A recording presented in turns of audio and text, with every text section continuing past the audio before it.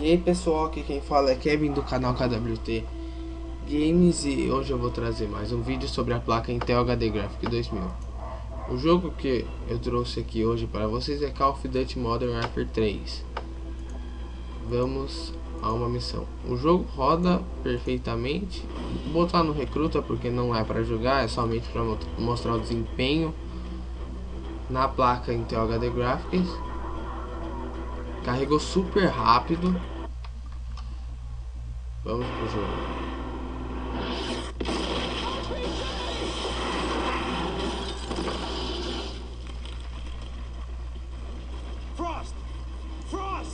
Na minha opinião, se você conseguir rodar o Call of Duty MW3, provavelmente você irá rodar todos os outros jogos anteriores a esse da série como eu consegui rodar todos. Menos o Call of Duty 4, que ele de vez em quando dá umas travadas muito fortes, mas na maioria da parte dá pra jogar. Não sei porquê, deve ser porque o jogo deve estar com problema de instalação, alguma coisa assim. Mas é isso, agora vamos ao jogo.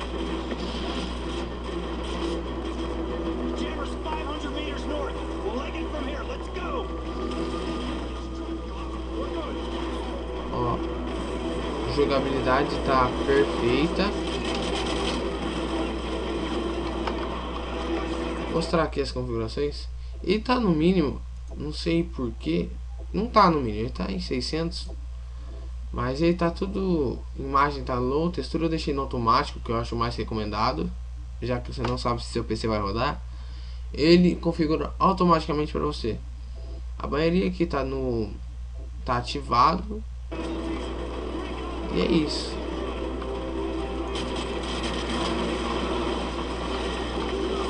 Curtam um pouco aí da gameplay. Daqui a pouco eu volto.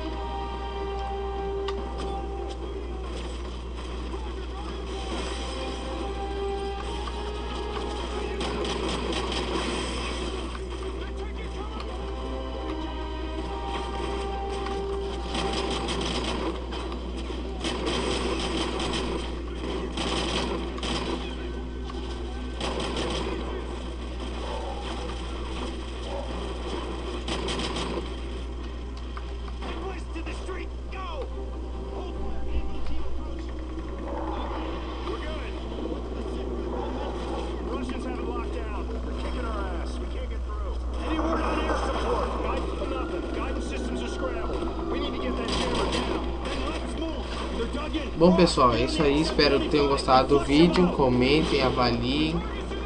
E se gostaram do vídeo, qualquer crítica, só falar. Esse é apenas meu terceiro vídeo.